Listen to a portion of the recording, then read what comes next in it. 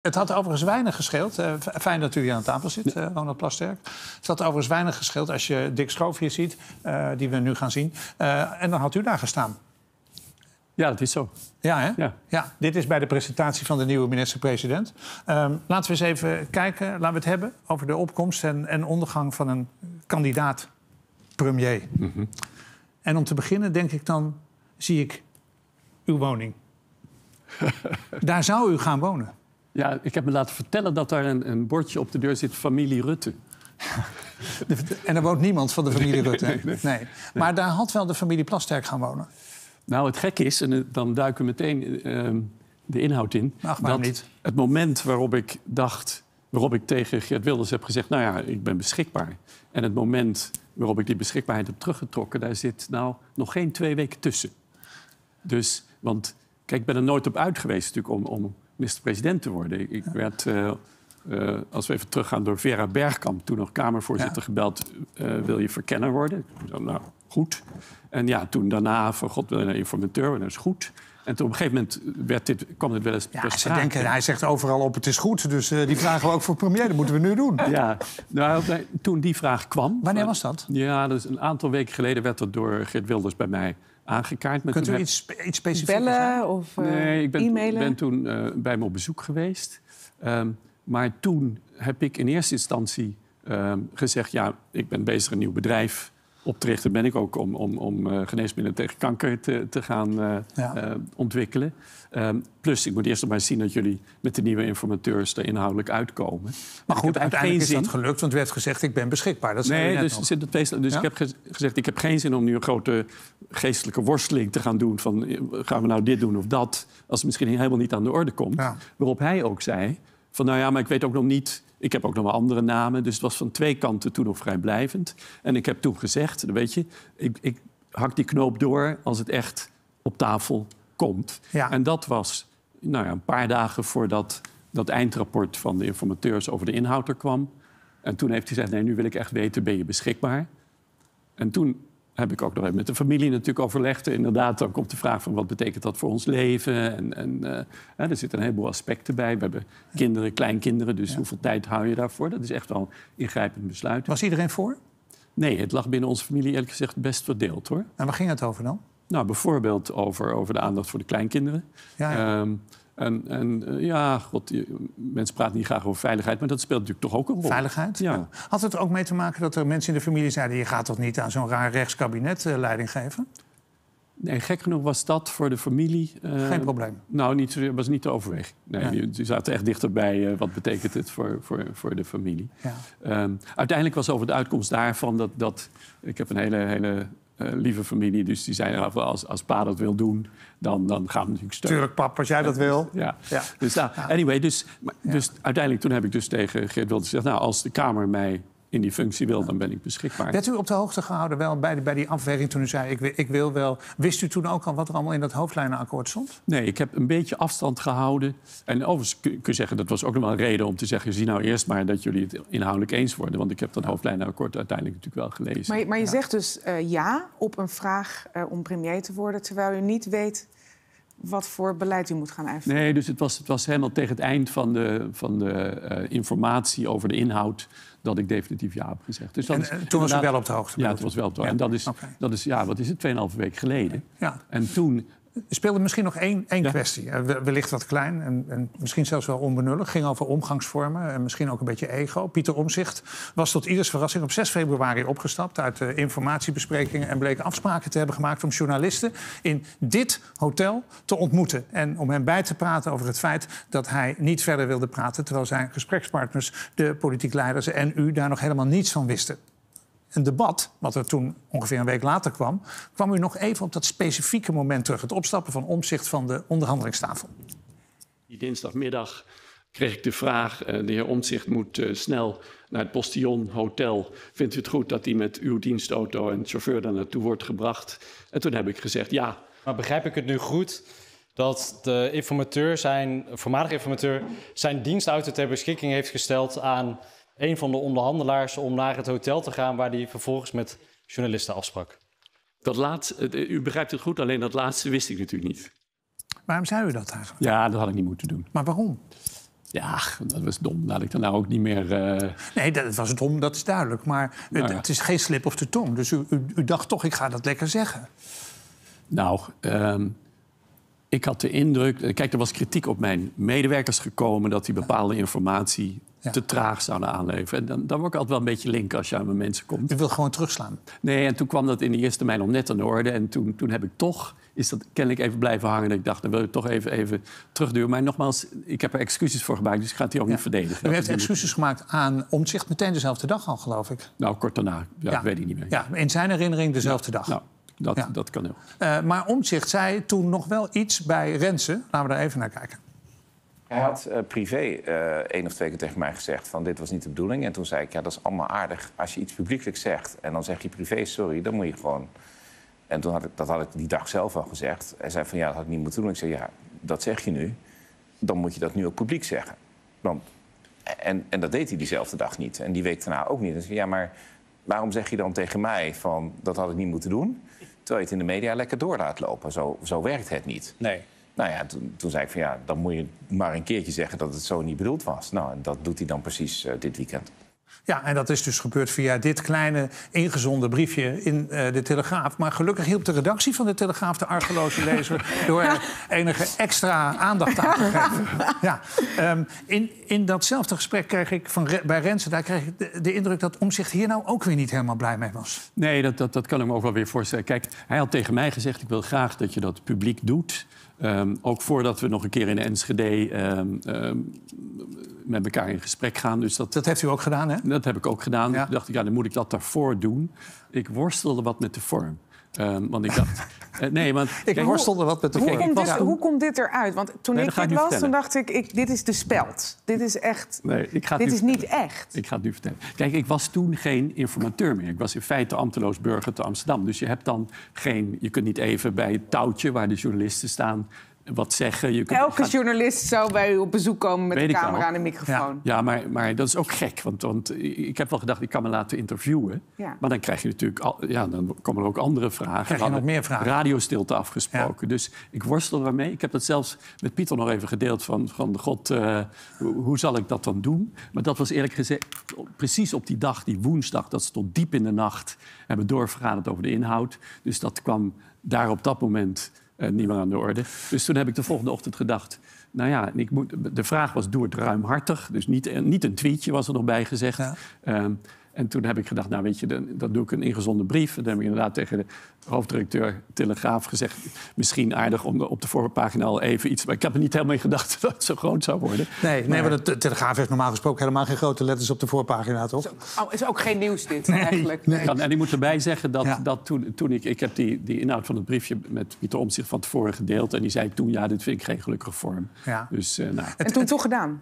Ja, maar ik kon niet anders, want ik, ik moest wel dat publiek doen. Dat was ook echt wel de vraag. Had u nou, heeft u nou te maken ook dat u denkt van... ik moet dit wel doen, want ik moet die route naar dat premierschap wel openhouden? Nee, maar ik dacht, hij heeft, hij heeft gelijk. Dit, dit, Ja? dit, ik had dat niet moeten zeggen. Dat, dat Ja. is eh, niet... Maar u had er ook wel behoefte aan natuurlijk om die lijn naar het premierschap open te houden. Want u wist ook wel, als, als omzicht eh, dwars gaat liggen, dan gaat het niet gebeuren. Nee, maar ik had natuurlijk op de vraag inmiddels van Geert Wilders... van ben je daarvoor beschikbaar?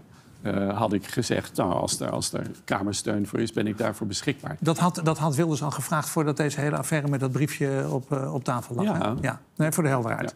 Goed, ondertussen diende er zich ook nog een tweede kwestie aan... die niets te maken heeft met politiek geharrewar... maar meer met uw professie als wetenschapper. Eh, die kwestie is ook wat ingewikkelder, vraagt ook iets meer aandacht van de kijker. En we hebben het daarom ook even kort in een klein filmpje uiteengezet. Het gaat eigenlijk over een verhaal van twee maanden geleden. NRC kwam daar toen mee naar buiten. De krant onthult dat Plasterk betrokken is bij een patentenkwestie. verdiende Plastek miljoenen aan patenten voor kankertherapie die ook aan de universiteit toebehoorden. Hij registreert zichzelf als enige uitvinder, terwijl het Amsterdamse UMC met lege handen achterblijft. Begin mei werd via NRC duidelijk dat Amsterdam UMC een onderzoek doet naar Plasterk. Het onderzoek is nog gaande en kan nog enkele weken duren. Er is geen contact gezocht vanuit Den Haag over de voortgang van dit onderzoek. Volgens Plasterk was iedereen akkoord en heeft hij juist gehandeld. En of het juridisch strafbaar is, dat is maar de vraag. Ja, la- laten we het eh, proberen helder te maken. En heb ik veel hulp van u zelf nodig. Want eh, ik snap dat dit voor u allemaal gesneden koek is... maar voor de kijkers en voor mij niet per se. Nee. Hè, als het allemaal gaat over eh, ingewikkelde formules en dat soort kwesties.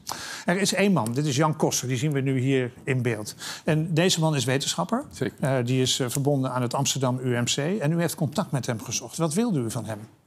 Ja, ik had, ehm, voordat ik hem leerde kennen, een voortreffelijke onderzoeker bij het eh, Amsterdam eh, UMC, ehm, een, een idee voor een nieuwe eh, aanpak in de therapie van kanker.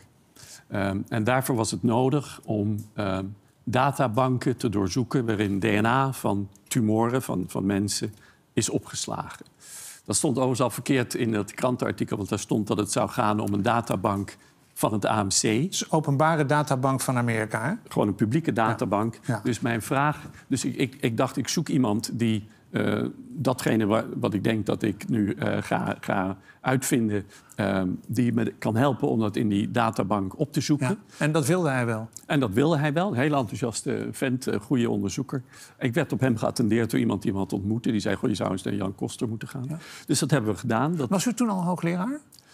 Toen nog net niet. Ik was het natuurlijk geweest voor de politiek. En Ja. ik was na de politiek bezig met... werd ik weer overigens onbezoldigd, onbetaald... maar Ja. voor nul uur Ja. eh, weer daar hoogleraar te worden. Maar goed, u, u sprak hem en u zei van ik heb een ideetje, kan jij mij helpen? Want jij bent goed met, met zoeken. Met, met, ik weet niet, mag ik het zo plat zeggen? Met zoeken? dat, dat, dat hebben jullie samen gedaan. U heeft daar samen met hem zelfs nog een artikel over Ja. geschreven. Dat artikel dat zien we hier, Scientific Reports, is ook door Jan Koster en Ronald H.A. Plasterk samen eh, gepubliceerd. Ja.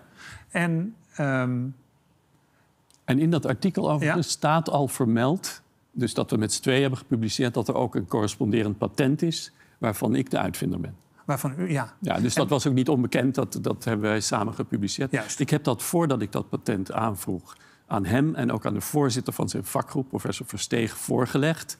Ehm, en die, die vonden de, terecht, want ik, mijn octrooigemachtigde, dat is degene die erover gaat en die voor mij zo'n patent schrijft, die zei: nee, het gaat erom niet zozeer wie er allemaal wat heeft gedaan, maar waar de uitvinding vandaan komt. Dat heet de inventieve stap. en u bent de uitvinder. En ik ben de uitvinder. Ja. Dus dat heb ik aan hen voorgelegd. Ze waren het daarmee eens.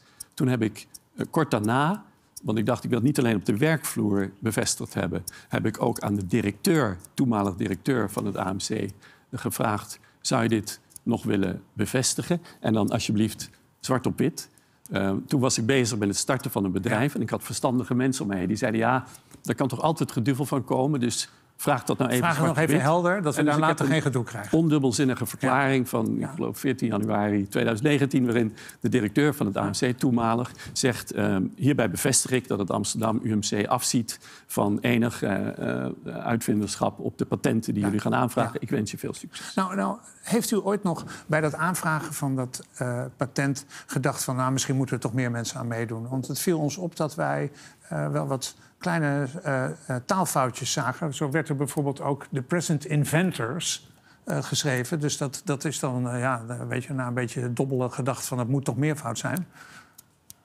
Oh god, dat is mij eigenlijk nog nooit opgevallen. Nee? Nee. Dit is gewoon een schrijffout, zegt u. Ja, Het is niet zo dat er eigenlijk misschien gedacht werd... Nee, nou, nee, misschien moeten we meer mensen vragen... en misschien moet Jan Koster gewoon meedoen, kan schelen. nee, degene, nogmaals, de octrooigemachtigde... want het uiteindelijke schrijven van die Ja. dingen... dat, dat Ja. doe je dan ook weer niet zelf, daar huur je iemand voor in. En, en, en die, daar, die dat voor zijn beroep doet. Ja. En, en die heeft dat uiteindelijk eh, geschreven. Dus het heeft zou best kunnen dat zo'n passage uit dat artikeltje is overgenomen... eh, waar we natuurlijk met z'n twee auteurs Oké. Nou, nou, nou wordt u een aantal dingen verweten. En die moeten we even, zonder het Zeker. te diep te maken, toch even, even langs gaan. Er wordt gezegd, u eh, was weliswaar misschien nog niet begonnen als hoogleraar... maar u was al wel benoemd. Afgezien van het feit dat ik geloof op dat moment dat het nog niet was... maar dat doet er ook helemaal niet toe. Want ik, ik was daar voor nul uur in dienst. En ik heb gewoon, eh, als het, het uitvinderschap bij mij berust... dan berust dat ook bij mij. En ik had nogmaals, zowel op de werkvloer... als van de algemeen directeur van het Amsterdam UMC... had ik de bevestiging dat die het ermee eens waren. En overigens in het eerste NRC-artikel... wat in maart is verschenen, nog maar twee maanden geleden... bevestigt ook de huidige leiding van het Amsterdam UMC... op dat moment nog, Ja. Ehm, die zeggen unaniem en bij herhaling... en al vijf jaar lang Ja. eh, zijn wij van mening dat Ja. Plasterk de enige uitvinder is. Zou het kunnen zijn dat ze ook daar eh, misschien zijn wakker geschud door NRC Handelsblad. En dat ze dachten, we hebben misschien toch een tikje zitten slapen. Nou, slapen kan ik me niet voorstellen. Maar wat er natuurlijk gebeurt is, er verschijnt... eh, Er was een stuk van vier pagina's in de krant. En er werken 10.000 mensen op het Amsterdam UMC. En ik sluit helemaal niet uit dat er dan een aantal mensen zijn... die zeggen van, goh, eh, daar heb ik ook nog een mening over.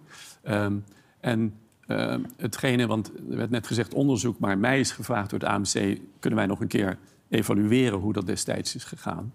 Ehm, en het zou heel goed kunnen dat ik dus op de werkvloer het had afgesproken... dat de algemeen directeur het had bevestigd. Ja. Er zitten zoveel afdelingen op zo'n groot instituut... En dat dat niet goed is gecommuniceerd. dat dat niet intern helemaal met iedereen is afgestemd. Dat is in principe natuurlijk een interne AMC-zaak. Maar daarvan heb ik gezegd, ik wil met alle plezier... nog eens terugkijken hoe dat is gegaan. Nog even over die... U zegt, ik heb een uitvinding gedaan. Hè? Niet uitleggen wat het is, want Nee. snappen we toch niet.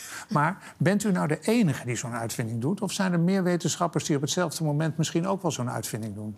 Dat is, dat is een hele goede vraag, eh, meneer. Dat want, want wat er gebeurt bij patenten is... natuurlijk probeer je origineel te zijn. Want anders, anders heeft het geen zin om, die moeite te doen... en ook die kosten te maken om zo'n patent aan te vragen. Vervolgens duurt het jaren. Ook dit is nog geen patent. Het is een aanvraag. Het duurt jaren voordat zo'n patent uiteindelijk wordt erkend. En in de loop van die jaren wordt er onderzoek gedaan... door, door, de, door bureaus die er uiteindelijk tot die erkenning moeten leiden of niet. Per claim in zo'n patent is dat een uitvinding? Is het echt Ja. is het nieuw? Is het alles door iemand anders geopperd? En als het door iemand anders in India een keer is gepubliceerd, is het niet meer een, een uitvinding. Dan is het niet meer nieuw. Dus het is op zichzelf helemaal niet ongebruikelijk dat je patenten aanvraagt. En dus zelfs nu hier, ik kan niet.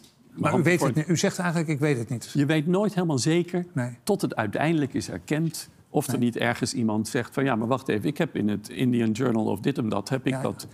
Maar voor, zover u het nu weet, is er niemand anders die dit heeft uitgevonden wat u hebt uitgevonden. Precies, anders hadden we Ja, natuurlijk niet geen patent Ja. geschreven. Dan even naar Bas Haan. Die kent u vast wel. Althans, u leest zijn stukken denk ik met, eh, met extra aandacht. Bas Haan is een eh, gerenommeerd eh, verslaggever voor NRC Handelsblad.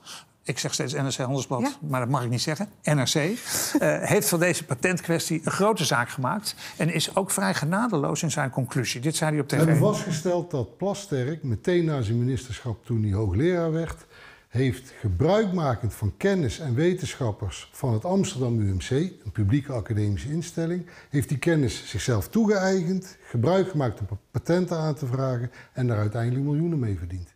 Ja, hij zegt het unieke van de uitvinding wordt betwist... en u had samen met kostenpatent moeten indienen. Ja, nee, ongeveer alles wat hij heeft gepubliceerd is niet waar. Dus, dus eh, het is, eh, ik heb hem verteld dat er een brief is van de directeur van de AMC. Eh, maar dat, dat was kennelijk niet interessant om in het artikel op te nemen. Ehm, Nou, hij gaat natuurlijk wel over de inhoud van zijn eigen artikel. ja, daarom. maar als alles dus niet ik- waar ik heb- is, dan, dan, ik dan heb lijkt dit ook nee, gewoon Ik heb geen kritiek toch? op, op Maar, de maar- pers maar ooit gehad. wat Suze zegt, je zou ook kunnen zeggen... ik word best wel beschadigd door dit artikel. Ja. Eh, waar- waarom eh, geen smaad of laster? Of, eh, Nou, kijk, dit, was, dit eerste kwam uit overigens toen ik informateur was. Hè? Dat was eh, dus ehm, ja, dan ben je niet in een positie om. En- maar om nu wel, toch? Nee, nu wel, want daarom zit ik ook hier. Dus nu voel ik me vrij om Maar, te maar zeggen. gaat het u dan ook zeggen, dan gaan we een zaak aanspannen? U, bent, dat, u zegt dat u hier zo zwart bent gemaakt. U, heeft, u, u bent geen premier geworden door deze stukken. Nou ja, eh, daar komen we misschien zo nog op hoe dat dan precies gelopen ja, is. laten we Maar- doorgaan. Dan kijken we straks wel even... We houden, onthouden even die vraag. Daar komen we straks even Ja. op terug. Goed, want dan maken we even dit af. Ja. We, hadden, eh, we hebben het eerder over dat kleine excuusbriefje gehad in de, Ja. in, de, in de Telegraaf. Nu kwam er ook nog een suggestie van Kees Punt. Hij is hoogleraar eh, medische oncologie in het toen nog AMC. En hij appte u, en dat is later ook gepubliceerd meer het volgende... hoor. Hij is, is daar weg. Maar- Nou, nou goed, maar toen was hij dat. Beste Ronald, je hebt het ongetwijfeld erg druk... dus ik help je graag met de tekst voor je nog missende excuusbrief. Sorry voor mijn gebrek aan integriteit. Ik had geen gegevens van collega-wetenschappers mogen gebruiken... zonder hen hierin te betrekken. Sorry ook dat ik mijn persoonlijk financieel gewin... belangrijker heb gevonden dan het maatschappelijk belang. In ruil voor miljoenen euro's heb ik er toegestaan... dat een voor kankerpatiënten potentieel succesvolle therapie... in de prullenbak verdwijnt. Ja, en dit is niet meer leuk, toch? Nee, dat was ook niet leuk. En ik, ik denk, ik, ik, ik ken hem niet goed, maar dat hij zich gebaseerd heeft op wat hij inderdaad in die, die stukken in de NRC heeft gelezen. Heeft u hem gesproken? Nee, want ik dacht, eh, wat, wat moet ik hier nu, nu mee? En een dag later stond overigens dat berichtje wat aan mij was gestuurd... stond, stond in, de, in de krant. Ja. Dus ja, daar... daar... Maar hij zegt iets, iets wat, wat, Wat u niet toch moet, moet raken. Tuurlijk. Hij zegt, u heeft gewoon die kankerpatiënten in de steek gelaten. Nou, dat vind ik ook, dat wil ik je graag nog een keer zeggen. Wat mij het meeste raakt aan deze hele zaak is dat er ook in die stuk in de krant, en dat werd door anderen volgens ook overgenomen, de indruk werd gewekt dat ik had gekozen voor geld in plaats van voor het doen van wat dan heet een trial, waarin je dus zo'n Een proef, middel even voor het gemak. eh, naar, naar de patiënten brengt. Wat er op dat moment, we waren een start-up. We, we hadden, ik had tien mensen in onze organisatie. Ik had nog voor twee of drie maanden geld voor de salarissen. Dus dat Ja. is niet, niet gek hoor, in zo'n start-up wereld. Toen hadden we die eerste trial klaar om te starten. Ehm, en die kostte een paar miljoen euro. Dus dat hadden we totaal niet. Ik ben toen op zoek gegaan naar geld. Ehm, Ja, Siewert van Linden geloof ik zelfs ik nog gebeld. al- alle hoeken gaten. Iedereen die mij zei, ik heb een paar miljoen, heb ik gezegd... God, als, als, hè, wij willen graag... Dat was overigens voordat dat hij eh, door het OM werd vervolgd. Hoor. Maar ehm, ja, ik, Heb, ik heb naar geld gezocht. Ehm, en toen op een gegeven moment kwam er een Duits geneesmiddelenbedrijf. En die zei, als wij nu dit overnemen... gaan wij die trial op onze manier doen. En dat doen Ja. ze nu ook. Dus ik had Hoe heet dat bedrijf? dat CureVac. Ja, en dat CureVac zegt, dat zegt Harry Groen, dat, Ja. hij is van het UMC Groningen. We gaan het echt niet veel ingewikkelder maken. We hebben alle namen zo'n beetje wel gehad. Die zou samen met u die trial op poten zetten. Eh, en dan zouden er 15 kankerpatiënten zijn om de methode te toetsen. En die proef werd toen gestaakt omdat u toen het bedrijf verkocht aan CureVac. En hij zegt, die Harry Groen zegt ja, hij had voor de koop, had CureVac al aangegeven, niet door te willen gaan met de trials. Dat is overigens niet gek. Ik, eh, ik had eerlijk gezegd het idee dat we werden opgekocht om een concurrent minder te hebben. Ja, maar dat, dat is niet het geval. De keuze was op dat moment werkelijk... Kijk, we, we hebben nog twee, drie maanden geld, dus we gaan of failliet. En dat kan met een start-up. Of we verkopen het aan een... eh ah, dat is Harry Groen, fantastisch Ja. onder, eh, hoogleraar in Groningen.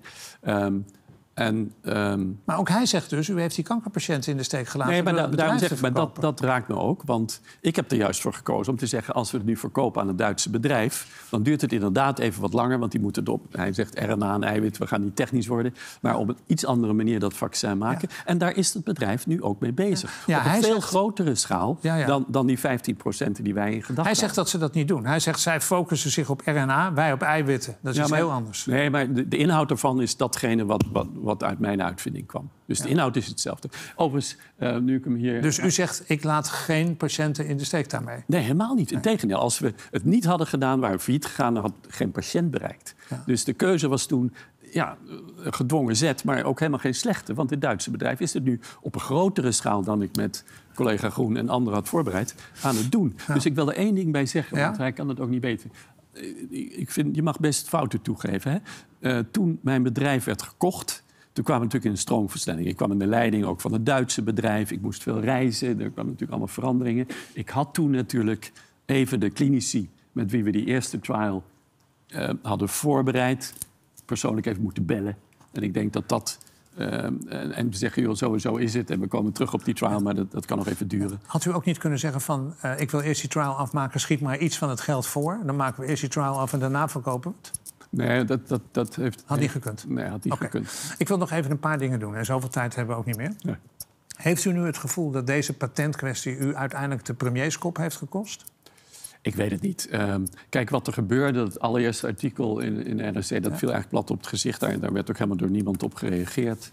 Ehm, op het moment dat ik in beeld kwam als kandidaat premier... kwam er een hele nieuwe dynamiek op gang. Uiteraard. Hè? Ja. En, ja, dat is logisch. En toen opeens was dit bericht waarvan ik... Ik heb het ook net weer gesproken. De meeste dingen die werden gezegd, die, die waren echt niet waar in dat bericht. Dat, dat sloeg over naar andere media. Dat werd ook opening journaal. Maar werd dat het is allemaal heel logisch als u kandidaat premier bent. Dus dat Nee, dus, dus Ja. nou ja, maar, maar het vervelend toch- was dat niet waar was. Alleen, ik was nog steeds natuurlijk... Ja, je, je hebt radiostilte. Ik kan moeilijk daarmee naar buiten treden en zeggen... wacht even, ik wil even... Een... Ik denk dat de politieke executie plaatsvond aan tafel bij Rick Nieman... toen Johan Remkes daar zat en het volgende zei op eerste Pinksterdag. Volgens mij is hier strafrechtelijk helemaal niks aan de hand. Maar gaat het om de vraag, en daar zal het ook Pieter Omzicht wel om gaan... om eh, de, moraliteit, de integriteit. Maar moet zo iemand dan wachten tot zo'n onderzoek is afgerond... voordat u überhaupt kandidaat kan zijn voor zo'n positie? Eh, ik, eh, ik, zou, ik zou zelf mijn conclusies trekken. Dat is één. Hij zegt, ik zou mijn conclusies trekken. Tegenover hem zit Jezielkus, die houdt haar mond. Die zegt niet van, nee, Plasterk is onze premier. Twee Onze dingen. kandidaat. Ik wil even weer spreken, want het is niet alleen juridisch correct gegaan... maar ik vind het ook moreel correct gegaan. Want ik heb destijds dus zowel op de werkvloer... Ja. als aan de leiding van de organisatie Ja. gevraagd... zijn jullie het hiermee eens? En dat hebben ze vijf jaar lang volgehouden. Dus ik vind dat het ook in morele zin door mij correct is gegaan. en Maar- dat ik dus, maar die Nee, integriteit aan en dat ik dus integer ben. Zeker, ik begrijp dat u dat zegt en ook dat u dat vermoedelijk voelt en vindt. Alleen er, u, u moet ook zien dat aan die integriteit wel op verschillende niveaus wordt Nee, getwijfeld. Dat- heeft Door collega's die we net hebben Hij heeft volledig gelijk. Dus dat, Ja. dat, dat stapelde dat weekend op. Maar nu even de vraag. Was dit de politieke executie? Nee, dan, zou, naar- dan zou ik... Ik heb veel respect voor Remkes, maar hem net iets te zwaar maken. Oh, Dat is Wat één zei Geert Wilders toen, eh, toen, toen dit gebeurde? Belde hij u op? Nee, volgens mij niet. Wat er, dit was geloof ik op een zaterdag. Nee, op een zondag. Op een zondag, nou, Pinksterzondag. Wat er is gebeurd, is ik ben die ehm Pinkstermaandag, op een mooie Maar Pinksterdag... blijf even, blijf even bij die zondag. Ja? Dit is een belangrijke uitzending. Want er zit een, er zit een politiek leider van de Ja. VVD... en er zit een man met ongelooflijk veel autoriteit in. Nederland... en politiek Nederland, Johan Remkes. Die zegt, klaar, Mhm. zegt hij. Je Zielkes houdt haar mond. Wilders volgt alles. Tweet alles, doet alles. Belt hij u? In mijn herinnering heeft hij mij toen niet gebeld. Heeft iemand u gebeld? Omzicht, Wilders, ehm, Van der Plas. eh, Van Plas? Nee, ik geloof het niet. En over, eh, over Zij dit hebben dingen- allemaal eigenlijk met de armen over elkaar naar het ongeluk gekeken. Nou, ik weet ook niet of dit nou per se het ongeluk was. Het was voor mij, als ik er toch even naartoe mag, natuurlijk wel een, een, een opstapeling. Want het was ook al in de Volkskrant die zaterdag was er een stuk over. Ik zag Xander van der Wulp bij de NOS, opening journaal geloof ik het ook, brengen alsof, eh, alsof het waar was. Ehm, terwijl die mensen het allemaal niet zelf onderzocht hadden natuurlijk. Dus... Maar niemand sprong voor u in de bres. Nee, maar weet u, ik heb een hele tijd gedacht... ehm, als je dadelijk de leider van dit land bent... en je moet internationaal met de grootste boeven van de wereld eh, kunnen dealen... en je bent uit juiste hout gesneden... dan laat je niet door een of ander verkeerd stuk in de krant uit het lood dat begrijp dus ik, ik, ik dacht, mijn basishouding was... ik weet dat er niks mis is, dus ik laat mij dadelijk gewoon door de eh, formateur... op integriteit screenen. En die mag alles onder een microscoop leggen, die mag alles weten... want ik heb niks te verbergen. Dat was mijn basishouding. Ja. Tegelijkertijd ontstond er een dynamiek in dat weekend... waarin dingen zich opstapelden, waardoor ik op maandagochtend... ehm, toen heb ik wel met een paar mensen ook nog gepraat... En toen heb ik gedacht... Wie dan? Met wie dan? Nee, dat hou ik nu voor me. Waar- waarom is dat een geheim dan? Nou, omdat ik vind dat ik mensen moet kunnen, kunnen eh, raadplegen... eh, zonder dat ze dat dan eh, vervolgens publiek Oké, want Maar dat, ik, ga we, hebben wel, het, we hebben het niet over Geert Wilders, eh, Van der Plas of Jezielkes. ik ga u nu vertellen hoe, de- hoe dat vervolgens liep. Dus toen... Ja, u gaat geen antwoord geven, bedoelt u? Nee, niet op wie ik voordien heb. Voor, voor mijn besluit heb gebeld. Nee, dat is echt mijn eigen, mijn eigen zaak. Ehm, maar toen ben ik met mijn zoon gaan wandelen in Flevopark.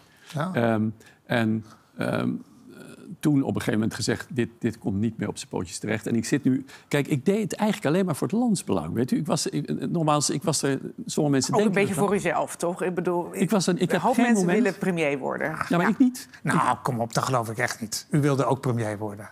Nee, ik was toen, toen mij werd, dat heb ik u net geschilderd. Toen mij werd gevraagd, wil je verkenner worden? Dacht ik, nou, dat doen we even. Toen ik informateur was, dacht ik, doen we even. Dan had En- hij daar met tegenzin, nou, maar ik Nee, het maar echt. dat is, dat is iets anders. Schat, ik, denk- moet premier worden en moeten we ook nog in dat lelijke huis gaan wonen. Nou, maar ja, Nee, wat maar- moet, dat maar, moet. Maar zo gek is dat niet. Eh, Schoof heeft toch hetzelfde gezegd? Heeft er ook gezegd van ja, Jawel, maar- weet u, de- de- ik had het niet zien aankomen. Meneer Plasterk, Ja, ik ken u al best wel lang. En u bent een zeer erudite, leuke, maar ook zeer flamboyante man. U vindt dat fantastisch. U had de hoed waarschijnlijk al uitgekozen en uw vrouw een mooie mantel. En u, u was daar als een soort koninklijk paar, was u daar dat katshuis in, ge- in getreden. nou ja, ik heb u net geschilderd. In mijn familie werd er gemengd over gedachten in ieder geval al. En, en nee, het was voor mij wel degelijk een, een, een vraag op het een- twee weken, tweeënhalf weken geleden van ja, wat, welk van die twee dingen ga ik doen? En toen heb ik gedacht, nou, als het land dat vraagt, het klinkt een beetje groots, maar dat is het wel. Ja. dan, dan heb je dat eigenlijk maar te doen. En toen ik dus in Pinksterweekend de indruk had, ja, ik zit eigenlijk nu het land in de weg. Het landsbelang. Want, want dan gaat het de komende vier weken alleen maar over, Maar over, over mij. P- punt gemaakt. Maar dan toch nog, hoe verklaart u nou dat Geert Wilders niet, dat Jezielkes niet... en dat Caroline van der Plas niet en dat Omzicht niet in de bres voor u zijn gesprongen... en hebben gezegd, ho, ho, hij is wel onze man. Ze hebben het allemaal gewoon laten gebeuren. Nou, ik weet alleen dat toen ik die uit het Flevopark Geert Wilders belde... Ja? Toen, toen was hij ehm, daar ja, teleurgesteld over en verrast over. Want, want eh, ik had tegen hem, want hij was degene die mij had gevraagd of ik beschikbaar was, gezegd dat ik beschikbaar was. En ook wel eens toen, dat ik, ik heb natuurlijk geattendeerd op dat eerste stuk al in de NRC. En toen ook gezegd wat ik net zei, van ik laat me niet uit lood slaan door een paar dingen die niet waar zijn. Dus, ehm, dus dat wist hij wel. En hij was dus ook oprecht, ja, eh, schrok hij toen ik hem zei eh, dat, ik, dat ik niet meer beschikbaar was. Want, want heeft hij een beroep op u gedaan om te blijven? Nou, hij had, ik heb toen gezegd, het is definitief. Uh, want, want ik vind dit, op deze manier zit ik het landsbelang in de weg. Ja. En toen heeft hij gezegd, ik vind het heel erg jammer... en ik had je heel graag gehad, maar ik heb er wel begrip voor. Ja. Hij heeft dat keurig, moet ik zeggen, gedaan. Hoor. Ik, ik, uh... Z ziet u nog een rol voor, uh, voor, voor uzelf in, in het kabinet wat nu gevormd wordt? Nee, nu, nu is het wel mooi geweest. Dus ik ga, nu, ik ga nu... Nee, maar ook omdat wat ik net zei. Ik was oprecht bezig met het oprichten van een nieuw bedrijf. En daar, daar ben ik deze week ook nog wel weer mee aan de gang geweest. En dat ga ik nu doen.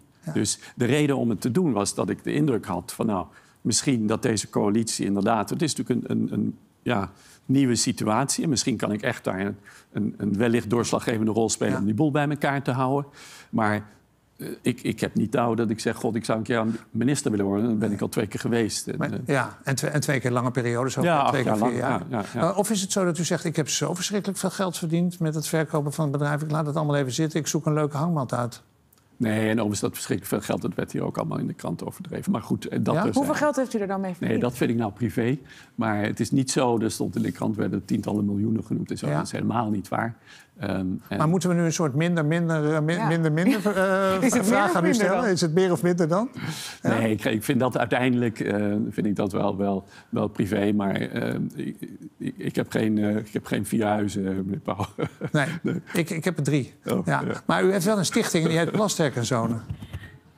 Ja, nee, ja, dat, dat, dat is, is toch een soort manier om eigenlijk de erfbelasting te ontwijken, toch? Nee, dat was, dat is, uh, toen ik mijn bedrijf oprichtte, is mij aangeraden door mensen die zeiden... je mag je kinderen, je, ik heb twee zonen, je mag ja. ze één keer in, je, in hun leven uh, 25.000 euro schenken, ja. belastingvrij. En toen ben ik naar mijn zonen gegaan en heb ik gezegd... ja, ik zou dat nu kunnen doen. Um, maar ja, dan kan je het niet opmaken. Nee. Dus toen keken ze aan de ene kant een beetje sip... want dan dacht ik, krijg ik een keer 5.000 er mogen nog niks mee. Maar dat, ja, dat, ja. dat is zo graag. Oké, okay, we zijn aan het slot van het gesprek. Hoe kijkt u erop terug als u zegt beschadigd? Ja, ik hoop, daarom zit ik ook, uh, was ik blij ja. om hier te kunnen zitten... om iets te kunnen terugzeggen op de dingen die niet waar zijn. Want dat, okay. dat, dat heeft me natuurlijk wel geraakt. Ja, um, ja en... en uh, ja. Goed. We gaan naar het journaal. Dank je wel. rechtszaak. Wat zei je? Rechtszaak, smaadmaster. Ja. ja, oh, die smaadzaak die komt er dus niet aan. Nee, ik laat nee. dat er gewoon zitten. We hebben hier weer gesproken okay. en dan is het klaar. Wij wensen u een fijne avond thuis. Tot morgen, dan zit Sofie hier. Dank je wel.